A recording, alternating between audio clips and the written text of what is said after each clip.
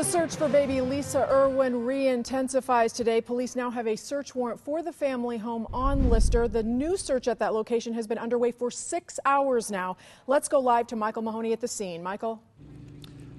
At this point, reporters, to be real frank about it, Kelly, are left to guess and sort of read the tea leaves. And here's my guess, and here are the tea leaves I'm reading. I think this thing is, uh, is wrapping up. In the last hour or so, a car with three uh, federal agents, FBI agents, left the scene just a few minutes ago. A crime scene van from the Kansas City police containing at least some bags of evidence also left the scene, and there doesn't seem to be as many investigators uh, on this scene at this point, although people do continue to shuttle in and out of the house here that is uh, the residence of Jeremy Irwin and uh, Deb Bradley, and it's the residence where their 11 month old baby Lisa Irwin vanished from on October the 4th. And as we say uh, at the top, uh, Kelly, this has been going on for six hours. There's only so much you can search, and so many times you can go in and out of the house right now. So it's hard to say, but it does sort of appear that at least some elements might be wrapping up on this thing, but we'll have to see. We've been here for six hours. We could be here another six. Who knows? That's my take on it.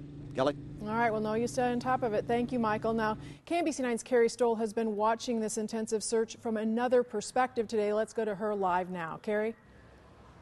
Well, Kelly, we are at 37th and Cypress Street, standing in the backyard. This is private property as police are keeping us at a distance. You can see this is the backyard of the Irwin family home. This is the area that investigators have been searching. That green shed there, they've spent a lot of time in and around that shed, digging, removing brush, raking leaves. At one time, we even saw the investigators, about a dozen of them, walking shoulder to shoulder through that yard. At this point, it doesn't appear that they have found anything significant. And I say that because they seem to check one area and then they simply move on. Again, police have said from the beginning that they didn't come here because of a specific tip, although they're just here because they want to make sure they're doing as thorough a job as they can as it's been 16 days since baby Lisa was last seen.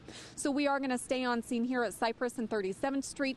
Watch for the investigators as, you know, Michael has said, and I echo what he has said. We haven't seen the investigators for at least the last 30 minutes or so. It is very possible that they are wrapping up this investigation, but we are just waiting to get that confirmed. For now, Kelly, we send it back to you in the studio. All right, thank you, Carrie. Now, once again, police did get a search warrant today. That search at the list, uh, at the family home on Lister has been going on for six hours now. We still have crews on the scene uh, monitoring the situation. We'll bring you any updates here on KMBC and at KMBC.com, and of course, have the latest on our news at 5 and 6. For continuing coverage on breaking news, log on to KMBC.com.